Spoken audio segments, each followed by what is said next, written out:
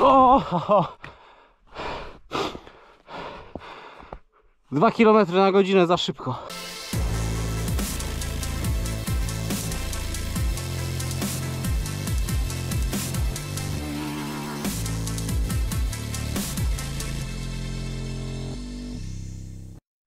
Cześć, dzień dobry. Jak wiecie, tej zimy nie ścigam się na przełajach, ale nie oznacza to oczywiście, że nie jeżdżę w terenie. Wręcz przeciwnie. I jest sobota, a ja już tradycyjnie co sobotę upalam w lesie na endurówce. Nadal trwa ostry atak zimy, także leży sporo śniegu, ale to póki co mnie wcale nie zniechęca i kontynuujemy jazdki. A dzisiaj jeździmy na Brzeźnicy, również miejscówce nieopodal Brzeska, jednej z fajniejszych lokalizacji, które mam równocześnie po prostu blisko domu, dlatego zaraz coś pojeździmy. Linia numer jeden, fajnie trochę odśnieżona, także jest idealny taki zbity już nieco ujeżdżony śnieg. Ślisko, ale da się jechać. Teraz rozpęd i gap.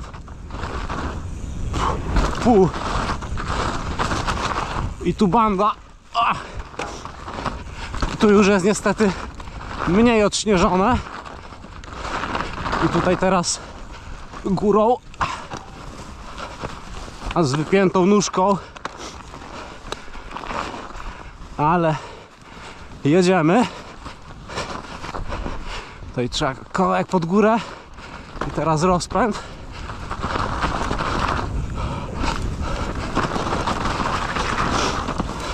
Wow! Zamiotło. I też noga wypięta. I końcówka.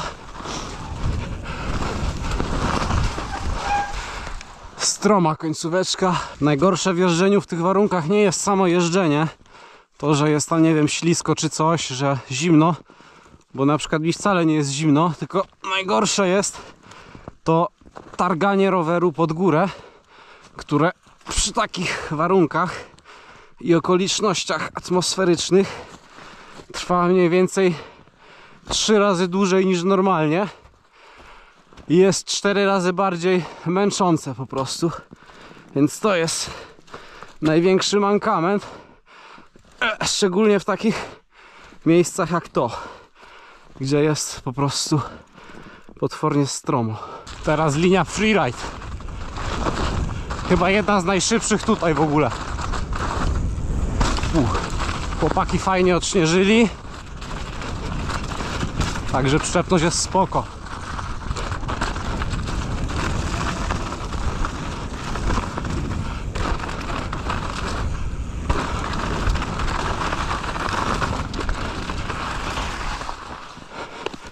Kurczę, mogłem to polecieć, ale się spękałem.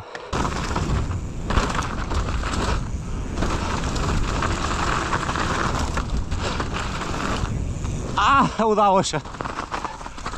A tu już nie odśnieżona. To tak trzeba troszkę czujnie. Gapa przez drogę sobie skrócimy. Oj, tutaj jaki puszek. Uhuhu. Tu są jakieś bandki, znaczy pamiętam, że one tam kiedyś były. I tu jest taki. O, właśnie. Trawersik. O, dobra. I tych dwóch gapów tam też raczej na nieodśnieżonym nie polecimy. Ale fajnie. Każdy, kto jeździł kiedykolwiek w tak niskich temperaturach, na pewno zauważył, że zawieszenie działa wtedy jak upośledzone. Ja zawsze myślałem, że to jest kwestia tego, że po prostu ten olej w środku tężeje, że te uszczelki się robią twarde i tak dalej, i tak dalej. Ale okazuje się, że w sumie nie do końca, bo tył mam na stalowej sprężynie, damper na stalowej sprężynie i tak naprawdę jak go tak uginam, to na oko on działa praktycznie jak normalnie. Przód natomiast działał tragicznie, bo jest to widelec powietrzny, ale podpiąłem pompkę i sprawdziłem jakie jest w środku ciśnienie. I normalnie w lecie ja jeżdżę przeważnie tak 90-95 PSI. Czasem mniej, czasem więcej, ale takie okolice. A dzisiaj po wyrównaniu, jak ten rower był już zimny, w środku było 50, czyli prawie przez pół. I jak sobie wyrównałem, czyli dopompowałem tam na 80 parę, to powiem Wam, że znowu jest spoko. Także ciekawostka, taki tip dla osób, które jeżdżą w zimie i może o tym nie wiedzą. Jeżeli chcecie, żeby Wasza zawiecha działała lepiej, to zacznijcie od tego, żeby na zimnym rowerze po prostu sobie troszkę dopompować, bo to powietrze na zimnie zmniejsza objętość czy coś tam, już nie jestem aż takim fizykiem. W każdym razie potem się to objawia tym, że działa to jak kawał drewna, a teraz jak dopompowałem, to powiem wam, że całkiem spoko to chodzi. Teraz szczęśliwa trzynastka. Ogólnie te wszystkie trasy tutaj mają chyba jakieś numerki, ale ja się w tym nie orientuję. Aczkolwiek kojarzę chyba, że ta ma właśnie numer 13. Wow. Fajnie też jest rozjeżdżona. Aczkolwiek trzeba się pilnować. O, jakaś kałuża się nawet trafiła. Wow. Ciężko powiedzieć, gdzie się kończy ścieżka, a gdzie jest już pobocze. I tak trochę jest to freestyle. Ale o to właśnie chodzi. Wow. I korzeni też nie widać. O, to jakieś gąski.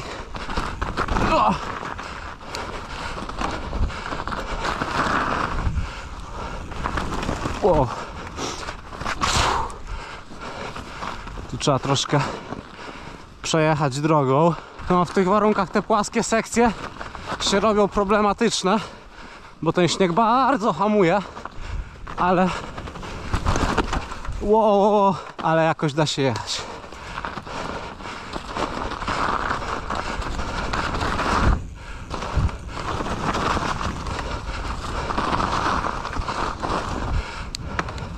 Oj, tutaj stromo. Wow. Jeszcze nie znam tych tras w ogóle. I po śniegu to tym bardziej. Po prostu jeżdżę w pół na ślepo.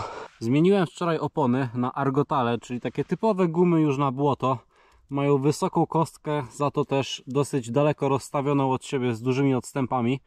I rzeczywiście chyba jest różnica, bo jeździłem tutaj również tydzień temu. Przy podobnych warunkach też było dużo śniegu, też był lekki mrozik, ale wtedy za każdym razem, kiedy podchodziłem z powrotem z rowerem do góry, to przed zjazdem musiałem spędzić 2-3 minuty na tym, żeby oczyścić opony ze śniegu. Po prostu musiałem wziąć jakiegoś kija albo łopatę i tak pouderzać, żeby po prostu ten śnieg wypadł z bieżnika, bo zaklejały się na gładko. Sliki się z nich robiły. Natomiast te, jak widzicie, ja ich nie czyściłem. One tak wyglądają po każdym wyjściu do góry.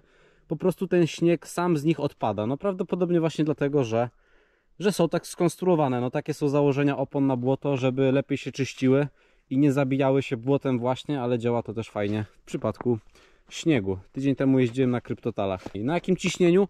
Nie wiem, bo nie mierzyłem, ale mogę Wam powiedzieć, że na patologicznie niskim. Z przodu na pewno jest poniżej jednego bara, z tyłu też mogą to być podobne okolice. Natomiast jest przysypane śniegiem, nie ma w co uderzyć, bo korzenie i inne rzeczy nie wystają tak z ziemi, jeździ się wolno. Jeszcze mam wkładki w środku, więc tak naprawdę mógłbym tutaj na samych wkładkach jeździć bez powietrza i też by się nic nie stało, a dzięki temu po prostu lepiej to się wszystko klei. Tutaj też fajna odśnieżona traska i przy okazji dość długa.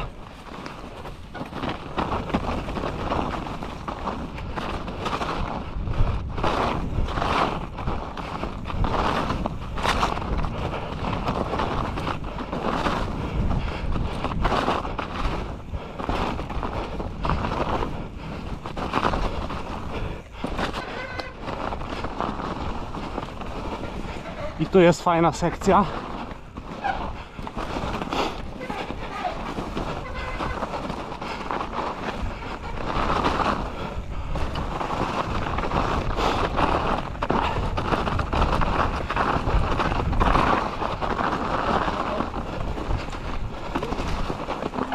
Uh.